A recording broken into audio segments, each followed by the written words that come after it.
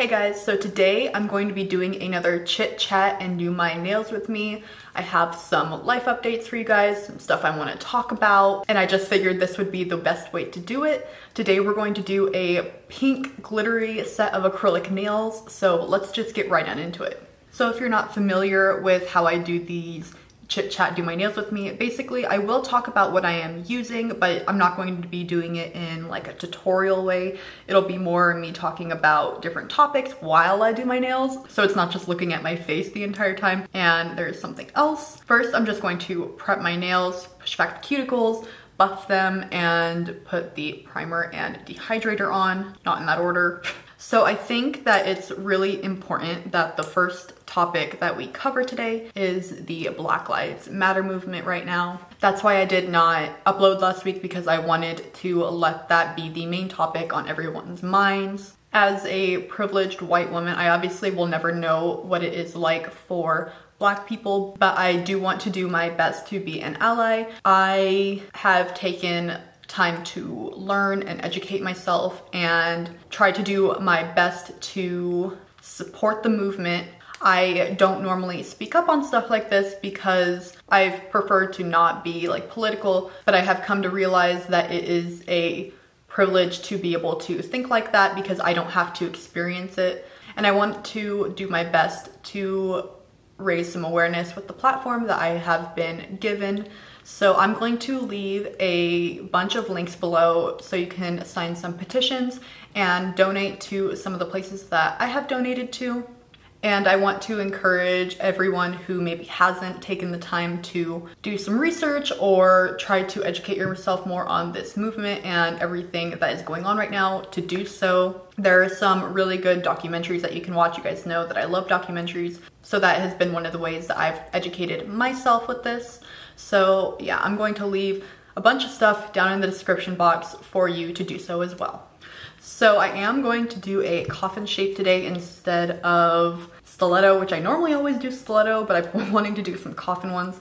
So today I'm actually going to be working with acrylic. So just to go over everything I'm gonna be using really quick, I have this hard candy clear acrylic, this Glam and Glits acrylic in Heartbreaker, this Pixie Gold acrylic from Vanessa's Nails, this dip powder from Sparkle & Co. And I'm gonna be using it with my Mia Secret monomer and my Candy Coat number 12 acrylic brush. Look at how pretty this is. I love that. When I opened this, I my boyfriend was there and he was looking at it and he was like, it looks like liquid because the powder is so fine. And I was like, oh, it does. Like it really does look like liquid because it is so fine. So this will be fun to use. I've never used Glam Glits before, so I'm excited to try this. Okay, so let's get started on the nails. I'm going to move on to some other topics. I don't also don't want to make it seem like I'm trying to gloss over that topic. I am nervous speaking about this kind of stuff because I don't want to say the wrong thing. I do really care about everyone's feelings. And so I get nervous trying to speak about this stuff to help but not overshadow the voices that should be heard and stuff like that. So I don't want it to seem like I'm trying to minimize it or anything. I am just trying to do my best with talking about the subject. So I am going to move on to some other subjects. Last week, I had quite the week. I know I've talked to you guys quite often, actually, about some of the medications that I've been on. I've been really working on my mental health, etc. So whew, last week, I started on a new medication now, normally I wouldn't say what medication it is, but because the side effects with this kind of stuff, a lot of people messaged me already knowing what it was when I had posted about it on my Instagram. And I feel like it's important that if you start taking this medication and you get these side effects that you stop and I feel like that should be known because my doctor did tell me but I know some people told me that they didn't know they this could happen etc so I started taking, I again don't know how to pronounce it exactly, Lamictal, I think. I'm gonna say Lamictal. I hope that's how it's actually pronounced. I'm not sure. It was going good for a week and a half. I feel like I started, it started to help me. And then a couple days, last week, last, maybe it was last weekend, I don't remember. Me and my boyfriend spent two consecutive days brushing the dogs, clipping their nails, just doing, you know, regular dog grooming activities, I guess. and we don't usually spend a ton of time outside. So I got a little spot and it, so I sort of had a little bit of a rash and I thought it was because of a bug bite. So I of course was still taking my medication because I thought it was just from a bug bite or whatever. Then like a day or so later, the rash really started spreading from the one spot that I had to my knees, my elbows, my hands, my feet, and my face. I woke up one morning and my lips were double the size that they normally was and my face was starting to have sort of a rash on it and it was swollen. And I knew something wasn't right immediately when I woke up because I could feel how heavy my lips were. Wow, this is such a gorgeous pink. Anyway, so I knew something wasn't right. I got out of bed, I told my boyfriend and he was really concerned. So I, of course, took some Benadryl because that's usually what you do when you have some sort of allergic reaction going on. And I wasn't sure what it was. That night before I washed our sheets and I used a new fabric softener. So immediately I was like, oh, it's my fabric softener. Of course, so we took everything off the bed, switched the sheets, etc. And I had to take two Benadryls and you know, there are some people that can just take Benadryl and not pass out for 12 hours, but I am not one of those people. So I think it was 11 a.m.-ish. I went back to sleep in the bed after we had changed the sheets and I thought I was gonna wake up and everything was gonna be fine.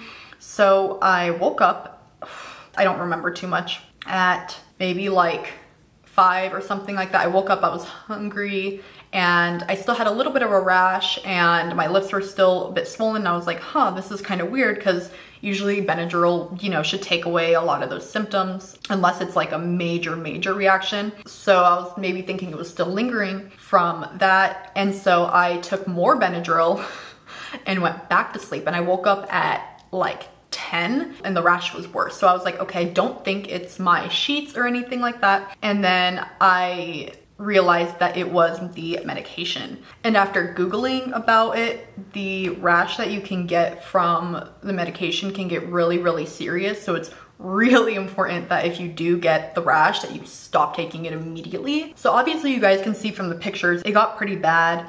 So I talked to my doctor and I stopped taking it, but the rash lingered on much longer than I had preferred. It stayed for almost like the entire week. It's still not 100% gone. I would say it's 90, 95% gone now, but it took almost a full week-ish at this point for it to die down. I think because it makes inflammation and everything worse from what I was reading, it's not just get like getting hives where you'll get hives and it'll go away and it'll look like nothing was there. This sort of left like kind of like a little mark. You can see a little bit on my hands still where all these little dots are. Here, here, here, here, here, here, here, here, all this. This was all a rash. I had it all over my hands. It was really bad. So it's taken quite a long time for it to not look like that. And although the Benadryl wasn't helping too much with the rash, it was helping with the swelling of my lips and sort of my face. And I wasn't sure if it was my mind making my throat feel weird or if it was actually starting to swell. So I kept taking Benadryl. So I was asleep for like 36 out of 48 hours for like two of the days because I was just taking so much Benadryl and along with my anxiety meds, I was just out. So I just figured I wanted to update you guys on the chronicles of my medication journey at this point because I feel like I've already talked about it so much. I have not started anything new because I think my doctor wants to make sure that it's all gone and you know there's nothing that's going to interact with whatever new medication I try. I did want to talk about it because I know a lot of people were concerned when I posted it on my Instagram because reactions are no joke. So yeah, there's that. With this, I'm trying to do the thing where I make like a nail bed and then I'm gonna do this color on here. But shaping the nail bed is pretty difficult especially when you're not like amazing with acrylic. It's been a long time since I have worked with acrylic at all. So what I'm gonna do is I'm gonna do the other one that I wanna do on this finger and then I'm gonna let this dry and then I will file it to the shape that I want it to be. So something, I was so mad that I completely forgot to talk about in my last chit chat do my nails with me was the weather. Nashville has been on another level with its weather lately. I thought when I moved here, it was going to be a lot calmer than Portland.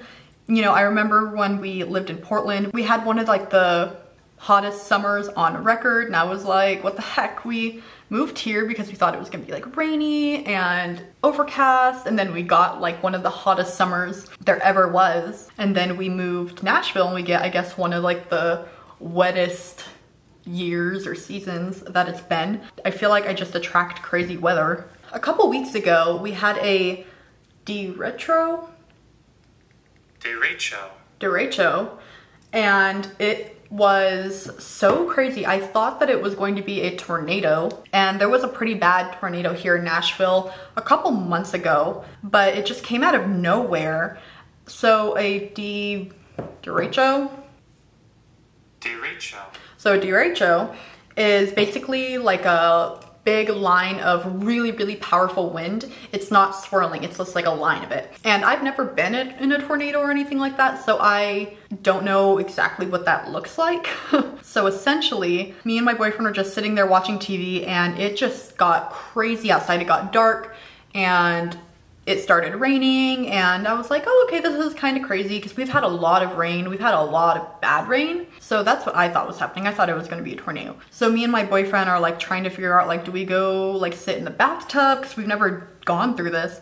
And I was like looking up if there's a chain tornado and it said that there wasn't. So I was like, okay, I'm sure the siren would be going off if there was. So I just kind of watched outside for a bit. And I think I have a little clip of what was going on but it was so crazy. The next day, there was so many fallen trees. I pretty much could not get out of my neighborhood. I would go to get out one way and there was a fallen tree and I'd go to get out another way and there was a fallen tree. So I had to like maneuver all through like a bunch of different streets to try to get out of my neighborhood because like all of the main ways were blocked by fallen over trees. I have a little section in between mine and my neighbor's house and I don't know whose property it is. It might be like the state's property, it might be their property, it might be our property, I'm not sure.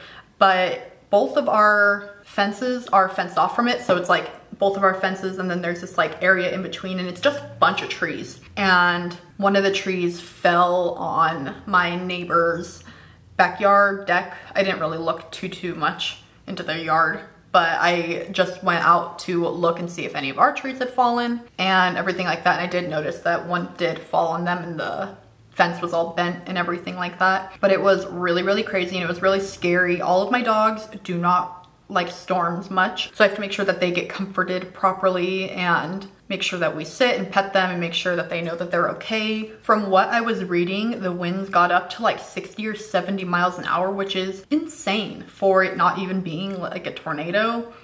It was crazy.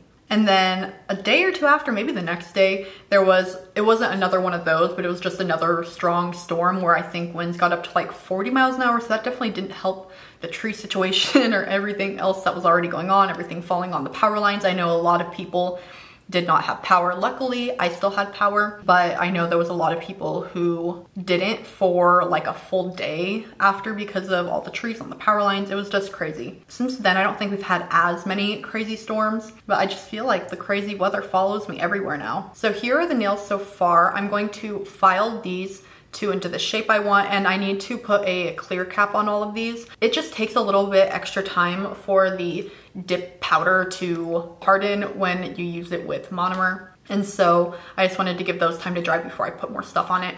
So I'm gonna file these.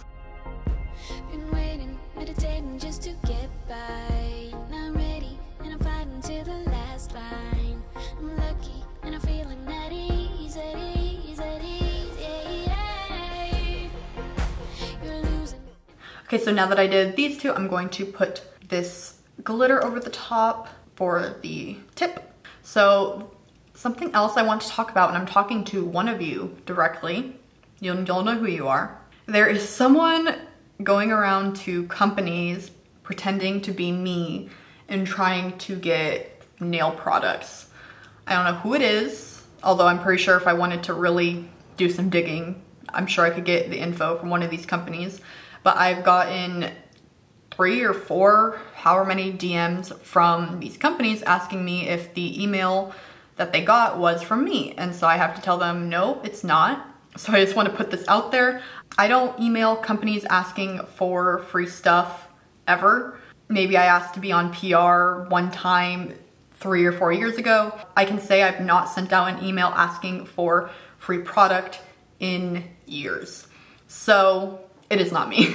So if you are a business owner that gets one of these emails, I'm sorry, there's not that much that I can do unless I really want to try to like maybe get them for impersonation or something like that, but just quit it. It's not cool. I do not even handle any of my collaborations or partnerships or whatever, PR, anything myself anymore. I have a manager, so if you're not getting an email from my manager, it's not from me. But just know that these companies are double checking with me and I'm getting back to them, especially since my business email is public so they can go and check and see if it came from me, which they pretty much already know that it didn't. I'm really loving how the set is turning out. I have not done acrylic in so long, but I feel like these are looking a lot better than they normally do with the polygel. I don't know, maybe it's just because I'm taking more time with it today. I'm not sure. So now that I have all of this on, I'm going to put a clear coat on this one, this one, and this one, and then I'm gonna file off these little glitters on the nails with the fake nail bed, and then I will clear cap those, and then we'll be on our way. I'm not sure if I'm gonna put rhinestones on these or not. I feel like, I don't know, they might just hold on their own, but we'll have to see. I didn't end up using this pixie gold that I got out. I wasn't sure if I wanted to diversify the glitter color or anything like that, but I am kind of liking just how the pink just looks all by itself. There we go. I don't think these are too, too thick. They're not thin, they're not too thick. I don't want to spend like three hours filing these. You guys will have to let me know if you like this setup and if it sounds okay. I'm actually filming in my vanity room, which is not normal. Usually I go and film in like, like my living room or something like that. But it gets kind of difficult to work out there when my boyfriend has a bunch of meetings and stuff like that. So I needed some quiet.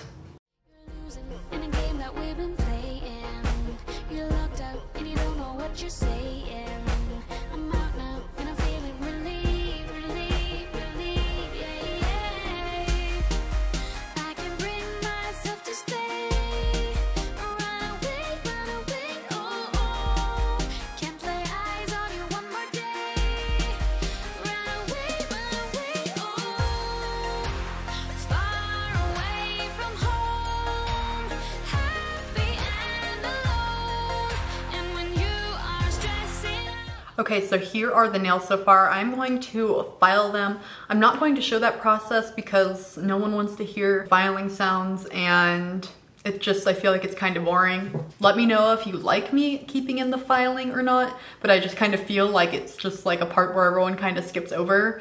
So yeah, let me know. I'm gonna file these really quick and I'll be back to put on a top coat and maybe some gems. I don't know, I haven't decided yet. Okay, so I'm back from filing, and when I filed, I did end up filing into some of the glitter, so that is why there's a bunch of silver pieces. But what I decided to do to fix that, because I really want it just pink, I don't want it like pink and silver, is I'm gonna go over with this blooming nail gel polish. It's not gel polish though, it's like ink. And just make the color all basically one color and cover up that silver and make the pink a little bit more intense. So I'm just going to grab that and I'm just going to try to paint it on in an even coat. It's obviously not going to be 100% the same color, but if I can at least tint the silver pink, I'll be happy. Okay, I gotta be careful on these two, that way I don't get it on the nail bed part. I can always clean it up with rubbing alcohol as well, but it's better to do it right the first time, which I didn't. Okay. Okay, I'm just going to clean that little bit up with some rubbing alcohol so here they are now, a bit more intense, which is what I wanted. So now I'm gonna put some gel polish over. This is just the Candy Coat Super Shiny Top Coat. Ooh, it's looking so pretty. The ink did bleed a little bit, so I'm gonna try not to cover any of that and then just wash my hands and hope that it all comes off nice and smooth. So let me just cure those really quick. So I have a little bit of pink staining from the ink, But other than that, here are the nails. I love how these turned out. I think this is one of my best sets I've ever done. They're all shaped really nice. They're not too thick. They're really shiny. I'm really happy with how these turned out. I hope you guys enjoyed this video. Sorry if I'm looking off over here. I'm trying to look at my monitor to make sure it's in focus. Please make sure to give this video a like if you enjoyed it. I really appreciate it and I will hopefully see you next time. Bye!